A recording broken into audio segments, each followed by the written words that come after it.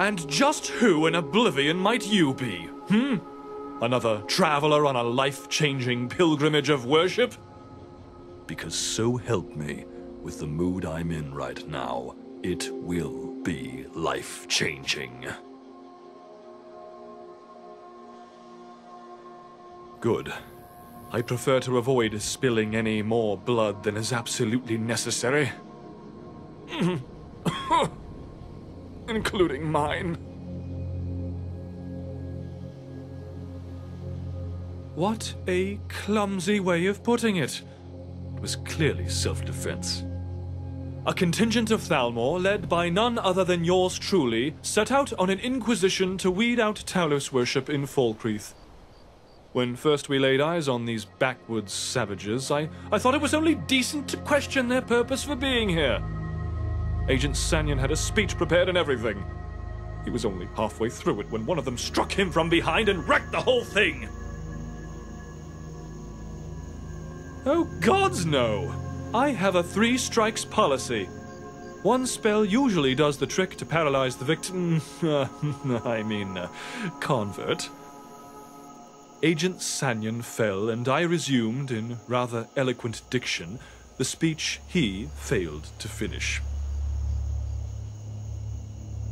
One of those bastards mocked my dagger. It's been in the family for generations.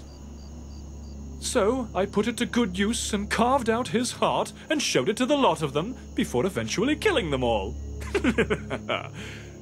like I said, clearly self-defense. And you have a strange definition of decent attire. What, with a drab outfit like that, you must have pieced it together by looting the bodies you've slain. No decency. No decency at all. And you have the gall to call me a monster. Bah! Gods. Yes. It's... It's just a flesh wound. I live.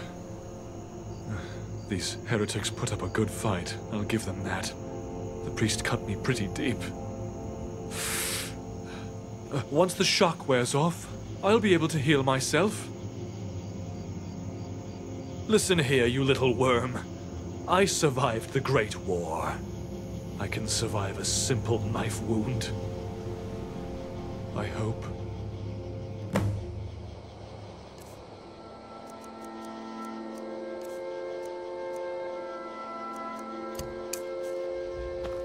Waiting to loot my...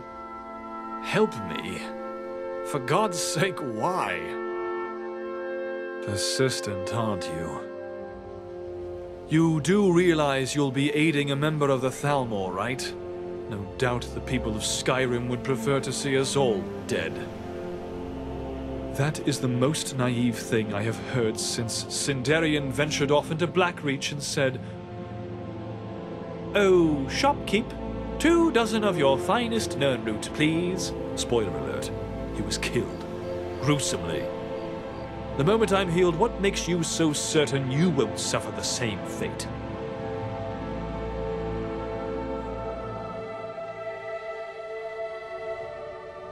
Oh, now that's the spirit. I had a feeling you were a feisty one. I like that. Very well. I will cooperate for now. Whoa, amber is the color of your energy. Whoa, whoa, you again.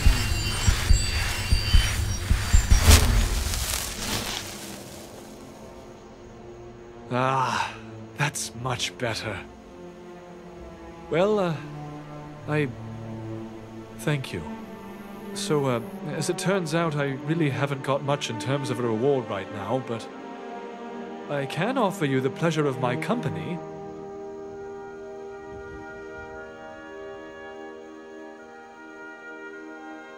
I think you'll find that having a member of the Thalmor in your pocket could be quite beneficial. And if your first thoughts are, this dashing Mer is going to betray me at the first opportunity, then you're sharper than you look. I know why I was sent to accompany Sanyan. I was expected to die here. And then you came along and changed that. So, in words you so eloquently spoke but a moment ago, why not? Any number of reasons, really. Could be my brash attitude, my candid inability to hold my tongue, or my insatiable lust for life and, uh, well, people. There is no court-martial where I came from, no honorable discharge. One does not simply leave the Thalmor, except in a box.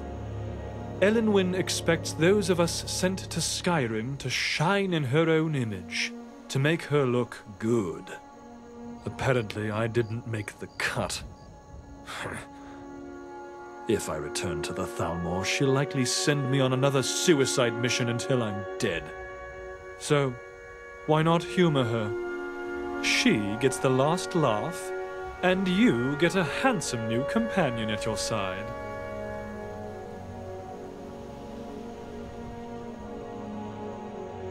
I'm insulted. I am always on my best behavior. Depending on your point of view, that is. Now then, shall we away? Well, when you put it that way, how can I refuse?